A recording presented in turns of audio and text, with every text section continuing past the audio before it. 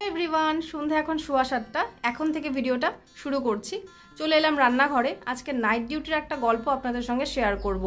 আমি প্রথমেই রান্নাঘরে এসে আমার হাজব্যান্ডের জন্য রুটি করব, তাই এখানে আটার জলটা গরম করতে বসিয়ে দিয়েছি। এখানে আমি আটাটা দিয়ে দিচ্ছি। আমি এইভাবে রুটি করি।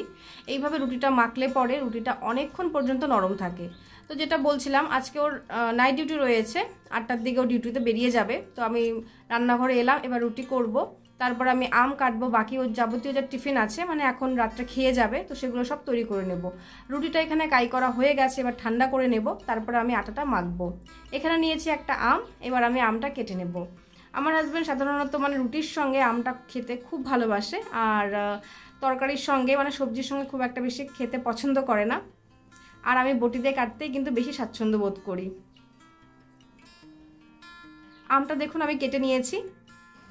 এরপর আমি এখানে আগেই ছানাটা তৈরি করে রেখেছিলাম। এবার ছানার থেকে জলটা ভালো করে ঝরিয়ে নেব এবং ছানাটাকে আমি মেখে নেব। এই ছানাটাও কিন্তু সে রুটি দিয়েই খাবে। দেখুন আমি গুড় দিয়ে ছানাটাকে মেখে নিয়েছি। চিনিটা একটু কমই খাই, চিনিটা না খাওয়াই ভালো। এখানে সুন্দর করে আটাটাকে মেখে নিয়েছি সেটার আপনাদের দেখাতে পারলাম না, কারণ এক হাতে ক্যামেরা, এক হাতে সব কিছু হয় না। এবার রুটিটাকে আমি কিন্তু সুন্দর করে ভেজে নেব। এইভাবে রুটি করবেন কখনো। দেখবেন আপনাদের রুটিগুলো কিন্তু অনেকক্ষণ পর্যন্ত নরম থাকে, চব্বিশ ঘণ্টা। যাই হোক, এক হাতে ক্যামেরা ধরেছি, বুঝতেই পারছেন। রুটিটা কিন্তু প্রথমটাই ভালো আমার হচ্ছিল না। তো দেখা যাক কতটা কি হয়। যাই হোক প্রথমটা একটু বিগড়ে গিয়েছিল, তারপরটা দেখলাম ভালোই হয়েছে। রাত্রেবেলা আমরা দুজনেই সাধারণত রুটিটাই বেশি খেয়ে থাকি। রুটি খেতেই ভালো লাগে রাত্রের টাইমটা। এখানে দেখুন, ওর খাবারটা আমি বেড়ে নিয়েছি, আম, ছানা আর তিনটে রুটি। এই খেয়ে ও বেরিয়ে যাবে। ও খেতে থাক, আমি রান্নাঘরে চলে এলাম। এবার আমি ওর জন্য একটু শরবত করে দেব, যা গরম পড়েছে। আর এই জিনিসগুলো আমি মাঠ থেকে শিখেছি। আমার মাকেও দেখতাম, বাবার জন্য খুব যত্ন সহকারে।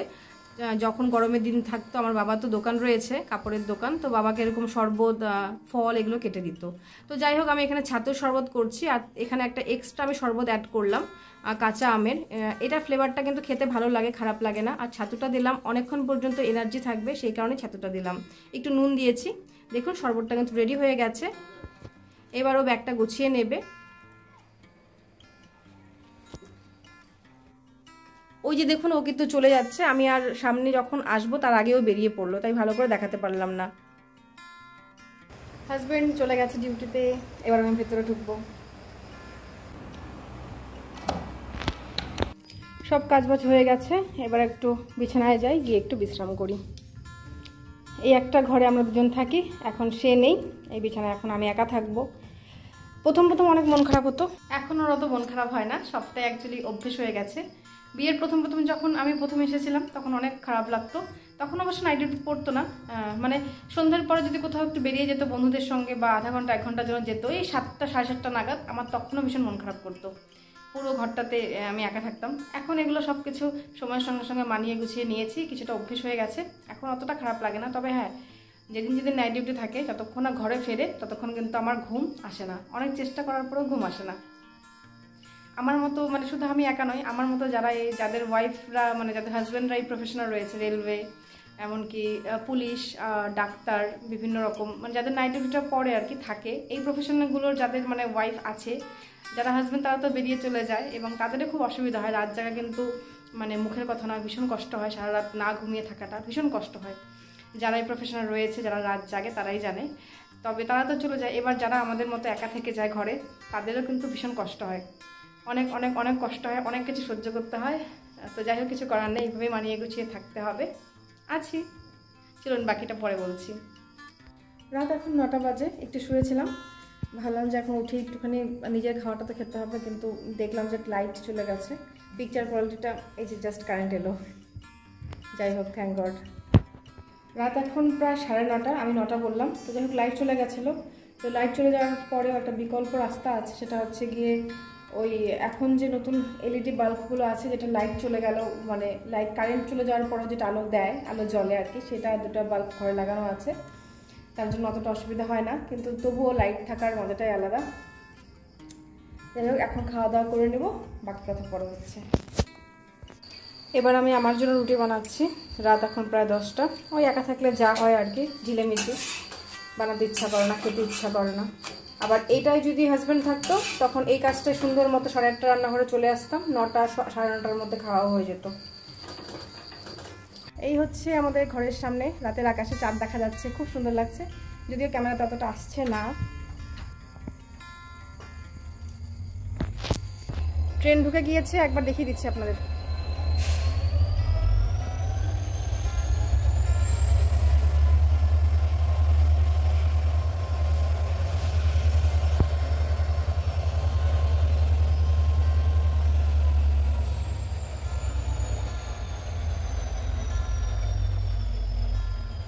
আজকে প্যাসেঞ্জার খুবই নগণ্য, দেখা যাচ্ছে না। যাই হোক, এবার ভেতরে ঢুকবো, গিয়ে আমি খাবারটা খেয়ে নেব। অনেকক্ষণ ধরে টেবিলে রাখা আছে। নোংরা কিছু ওপর থেকে পড়তে পারে। তো চলুন, ভেতরে যাওয়া যাক। এই হচ্ছে আমার আজকে রাতের খাবার। দুটো রুটি আর রয়েছে দুপুরে ভাজা, ঝিঙা ভাজা, ছানা। আর রয়েছে দু থেকে তিন টুকরো আম নিয়েছি, কারণ আমটা খাবার জন্য ওজনটা অনেক বেড়ে যাচ্ছে। রোজকার মতো রাতের খাবার শেষ করে চলে এলাম।